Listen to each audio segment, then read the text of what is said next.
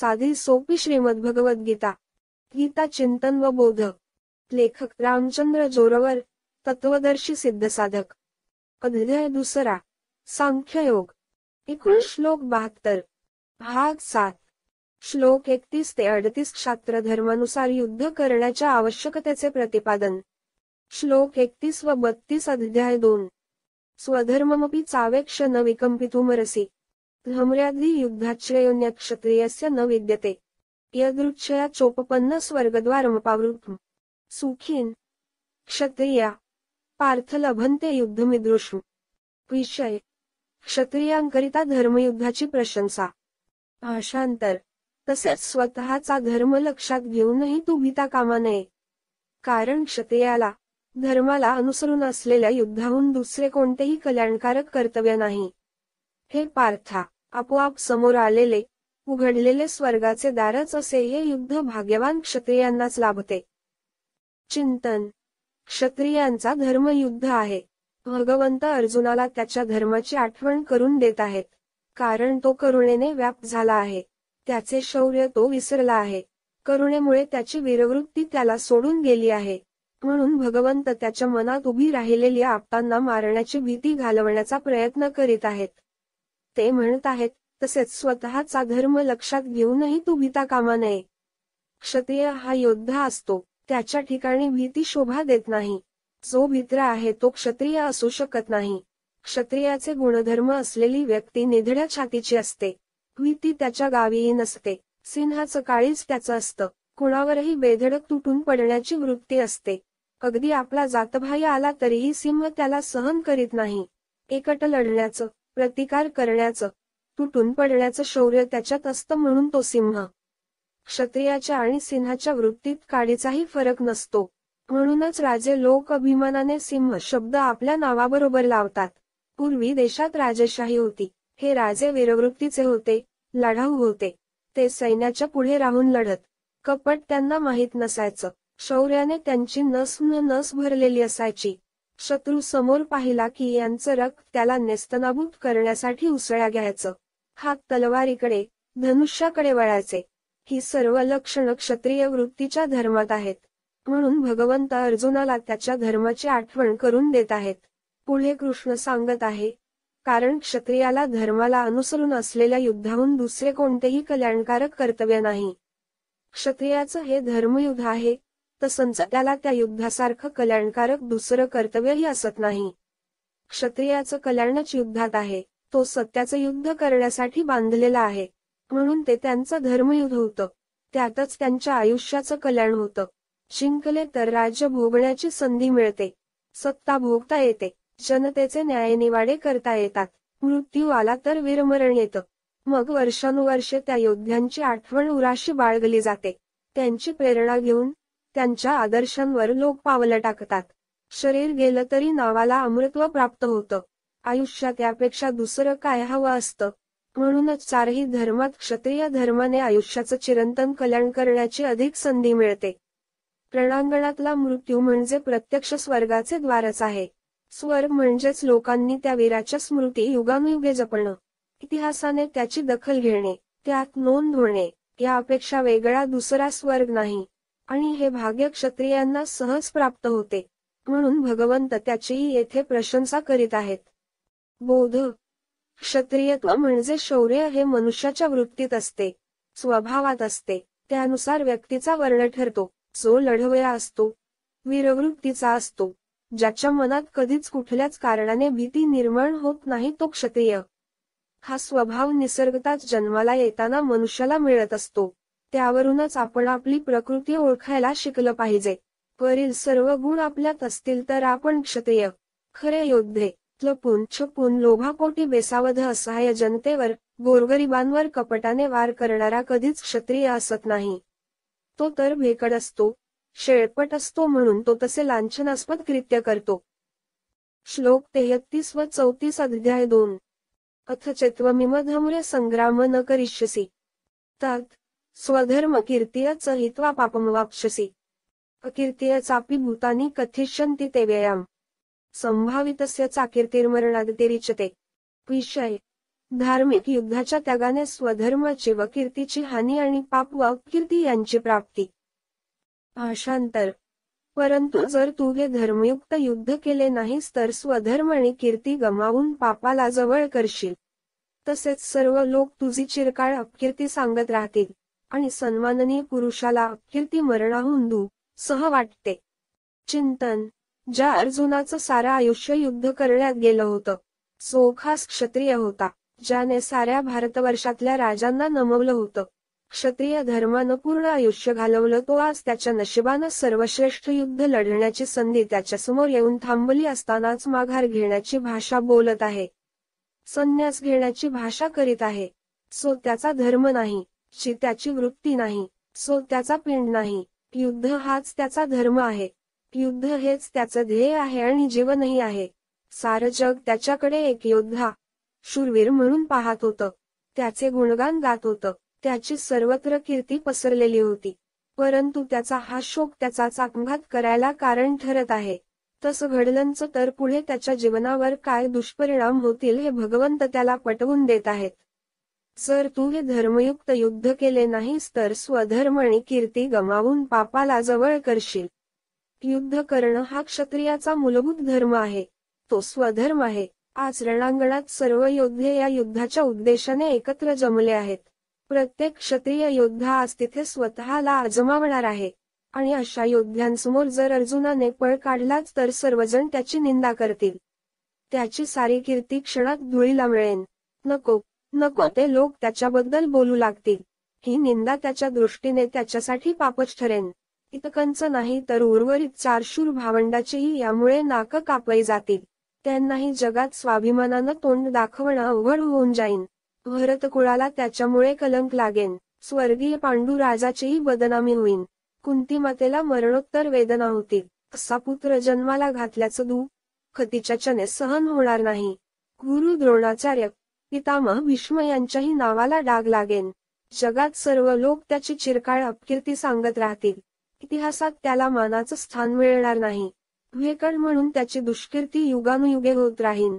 या सर्व बदनामीचे परिणाम स्वतः अर्जुनच सहन करू शकणार नाही. कारण वाईटातल्या वाईट मनुष्यालाही स्वतःची अपकीर्ती सहन होत नाही. आणि अर्जुन तर महायोद्धा म्हणून जगाला माहीत होता. त्याच्या तोडीचा धनुर्धर संपूर्ण भारतवर्षात नव्हता. त्यामुळे या अपकीर्तीने त्याला ज्या यातना होतील त्या मरणाहूनही दुःख सह असतील हे भगवंत अर्जुनाला पटवून देत आहेत. बोध. संपूर्ण आयुष्यात कीर्ती मिळविण्यासाठी नाव कमावण्यासाठी किती वर्षे निघून जातात हे सांगता येत नाही. त्यासाठी प्रचंड संघर्ष करावा लागतो. एकाएकी. आपोआपच कुणालाही कीर्ती मिळत नाही. भरपूर श्रम. तपश्चर्या केल्याशिवाय मनुष्य नावारूपाला येऊ शकत नाही. ज्या प्रमाणात कीर्ती वाढत जाते त्याच प्रमाणात मनुष्याची स्वतःच्या नावाबद्दल जबाबदारीही वाढत जाते. समाज अशा माणसांकडे वेगळ्याच अपेक्षेने पाहत असतो. त्यांच्या गुणांचे अवलोकन करीत असतो. त्यांचे आदर्श घेत असतो. परंतु कुठल्याही कारणाने यांच्या आयुष्यात एखादीही लहानशी चूक झाली तरी त्यांची सारी कीर्ती क्षणात धुळीला मिळते. वाऱ्यासारखी दुष्कीर्ती समाजात पसरते. यांच्या हितशत्रूंना तर हे हवंच असतं. ते तर भोंगे लावूनच लोकांसमोर यांच्या दुष्कीर्तीचे सूर आळवू लागतात. मग अशा मानाच्या सन्मानाच्या व्यक्तीला जगणंही अवघड होऊन बसतं. मेल तरीही ही हानी भरून येणार नाही हे त्याला कळून चुकतं. आणि बदनामी स्वीकारून तोंड लपवून जगण्याच्या पलीकडे यांच्याकडे दुसरा पर्याय उरत नाही. समाजमान सन्मान खूप उशिराने देतो परंतु बदनामी मात्र क्षणात करून मोकळा होतो. श्लोक पस्तीस व छत्तीस अध्याय दोन. भयाद्रणादुपर्त मनस्यन्ते त्वामहार्था. येषाचत्व बहुमतो भूत्वा यास्यसि लाघवम्. अवाच्यवादांश्च बहुन्वदिष्यन्ति तवाहिता. निंदंतस्तव सामर्थ्य ततोदू खतरनु किम? विषय. धर्मयुद्धाच्या त्यागाने मोठेपणाची व मानाची हानी. भाषांतर. शिवाय ज्यांच्या दृष्टीने तू आधी अतिशय आदरणीय होतास त्यांच्या दृष्टीने आता तुच्छ ठरशील. ते महारथी. तू भिवून युद्धातून काढता पाय घेतला असे मानतील. तुझे शत्रू तुझ्या सामर्थ्याची निंदा करीत तुला पुष्कळसे नको नको ते बोलतील. याहून अधिक दू खदायक काय असणार आहे? चिंतन. अर्जुनाने त्याच्या अगोदरच्या काळात सर्वत्र अत्यंत आदर निर्माण केलेला होता हे या श्लोकातून लक्षात येते. भगवंत त्याला त्या आदरयुक्त जीवनाची इथे आठवण करून देत आहेत. त्याचे मित्र सगळे सोयरे आप्तांमध्ये तो नेहमीच आदरणीय होताच. परंतु शत्रू पक्षाकडील अनेक महायोद्ध्यांच्या मनातही त्याच्याबद्दल पराकोटीचा आदर होता. कर्ण हा त्याचा प्रचंड द्वेष करणारा. अर्जुनाबद्दल मनात आकस द्वेष मत्सर बाळगूनच त्याने दुर्योधनाशी मैत्री केली होती. त्या काळातला अर्जुनाच्या तोडीचा एकच धनुर्धर शिल्लक होता. तो म्हणजे कर्ण. कर्ण नेहमीच अर्जुनाचा मत्सर करीत राहिला. कारण त्याला अर्जुनापेक्षा वरचढ धनुर्धर बनायचे होते. त्यासाठी त्याने प्रत्यक्ष भगवान परशुरामांकडून शस्त्रास्त्रविद्या शिकून घेतली होती. तरीही त्याला त्याच्या आयुष्यात अर्जुनावर मात करण्याची संधी कधीच मिळाली नाही. असं असूनही कर्णाच्या मनात अर्जुनाबद्दल प्रचंड आदर होता. तो दुर्योधनाला वारंवार संधी करण्याचा सल्लाही त्यामुळेच देत होता. परंतु दुर्योधन ऐकण्याच्या मन स्थितीत नव्हता. शेवटी त्याने अर्जुनाचं पारिपत्य करण्याचे इतकंच आयुष्याचं एकमेव ध्येय ठरवून दुर्योधनाच्या बरोबर शेवटपर्यंत लढला.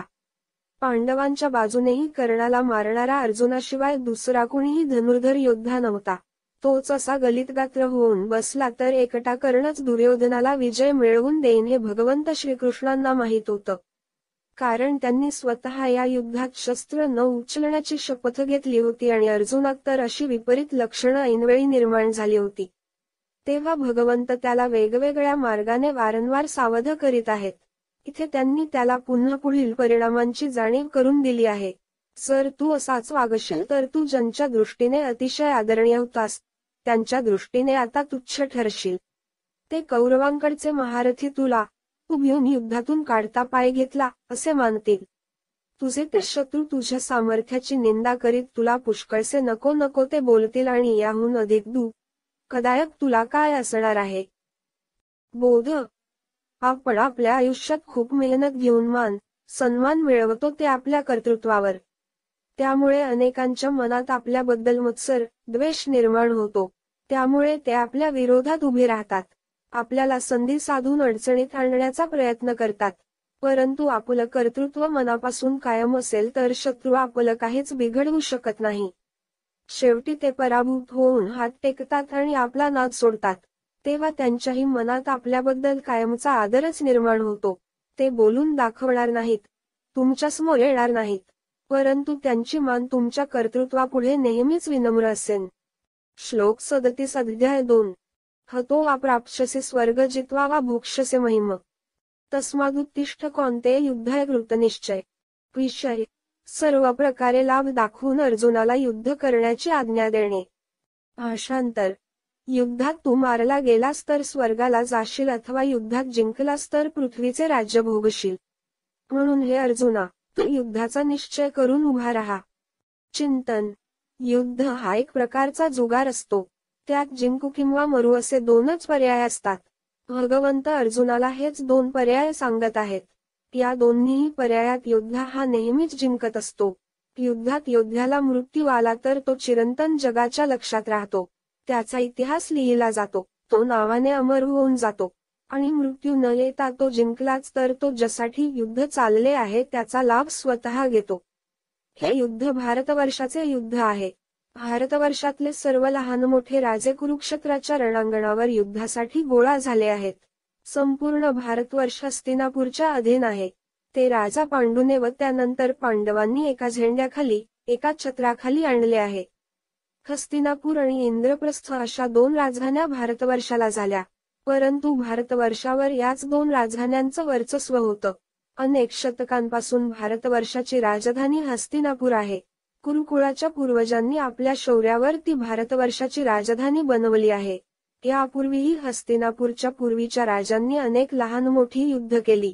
परंतु घरातल्या घरात त्या राज्यावरून कलह होण्याची ही पहिलीच वेळ हस्तिनापूरच्या नशिबी आली होती. राज्याचा राजा जर लोभी असेल त्याला राज्याबद्दल आस्था नसेल तर त्या राज्याच्या नशिबात असेच काहीतरी बिकट संकट येते. कौरव हे खऱ्या अर्थाने शूर योद्धे नाहीत. पांडव हे खरे योद्धे आहेत. कौरवांनी राज्याचा विस्तार वाढवण्यासाठी कधी हस्तिनापूरच्या बाहेर पाऊल टाकलं नाही. पांडवांनी त्यासाठी मेहनत घेतली. हस्तिनापूरचं राज्य अबाधित केलं. परंतु त्यांच्याशी कपट करून कौरव आणि धृतराष्ट्र हस्तिनापूरच्या गादीला चिकटून बसले होते. भविष्यात हे जनतेसाठी काहीच करू शकणार नाही हे भगवान श्रीकृष्णांना माहीत होतं. त्यामुळे त्यांना त्या गादीवरून खाली खेचून पांडवांनीच हस्तिनापूरची गादी सांभाळावी असे कृष्णाला वाटत होते. म्हणून भगवान श्रीकृष्ण अर्जुनाला त्या राज्यावर तुमचाच अधिकार असून तुम्ही या पृथ्वीचे राज्य हस्तिनापूरच्या गादीवर बसून उपभोगाल ही देखील आशा दाखवत आहेत. निदान राजाचं कर्तव्य जाणून राज्यलोभाची अपेक्षा धरून तरी तो युद्धाला उभा राहीन. मृत्यू पावला तरी देखील चिरंतन नावाला प्राप्त होईल. अशा विचाराने भगवंत अर्जुनाला पुन्हा पुन्हा युद्धाला प्रवृत्त करीत आहेत. बोध. कधी कधी मनुष्य नैराश्यातून अगदीच बाहेर येत नसेल तर त्याला काहीतरी आशा दाखवून लोभ दाखवून बाहेर काढण्याचा प्रयत्न केला जातो. मनुष्याच्या नजरेसमोर एखादं मोठं ध्येय उभं केलं गेलं की तो त्या आशेने आपल्या कार्याला प्रवृत्त होतो. त्या आशेने तो मनापासून कामाला लागतो व अशक्य अशी कामं देखील तो सहज करून दाखवतो. आशा हे मनुष्याचं शक्तिस्थान आहे. उभं आयुष्य तो आशेवरच काढीत असतो. आशा नसेल तर त्याला जगण्याची इच्छा देखील राहणार नाही. काही लोक लहान आशेवर जगत असतील तर काही लोक मोठ्या आशेवर जगतात. परंतु प्रत्येकजण शेवटी आशेवरच जगतो. नाव मिळणार असेल तर मृत्यूला देखील कवटाळ्याला मागे पुढे पाहत नाही. परंतु नाव मिळवणं ही देखील एक मनुष्याच्या मनातली आशाच आहे. इतकं या आशेला मनुष्याच्या जीवनात महत्त्व आहे. श्लोक अडतीस अध्याय दोन. सुखदू हे समेकृत्वा लाभाला भू जया जयऊ तो युद्धाय युजस्व नैव पापमवापशसी विषय. सुख दू खादिकाला समान समजून युद्ध केल्याने पाप न लागण्याचे वर्णन. भाषांतर. सुख दुःख. लाभ. हानी आणि जय. पराजय यांना समान मानून युद्धाला तयार हो. अशा रीतीने युद्ध केले म्हणजे तू पापाला प्राप्त होणार नाहीस. चिंतन. भगवंत अर्जुनाला इथं समबुद्धी होण्याचा सल्ला देत आहेत.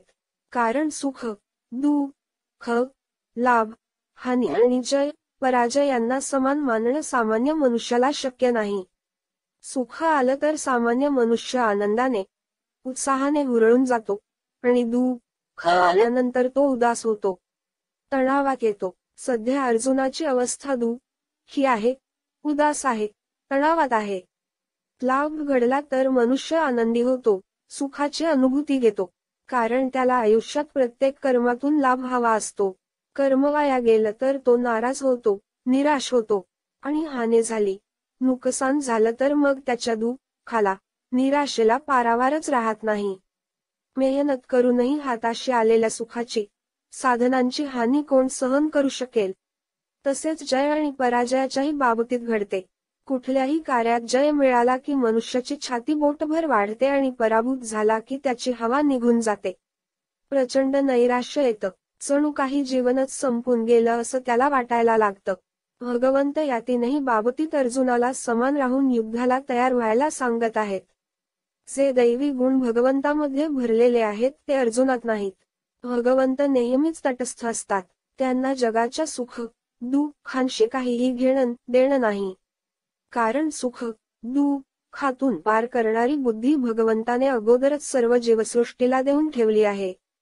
तिचा वापर करण्याची कलाही त्याने त्या जीवसृष्टीला देऊन ठेवली आहे. सो जशी बुद्धी वापरेन तशीच त्याला सुख दुःख प्राप्त होतील.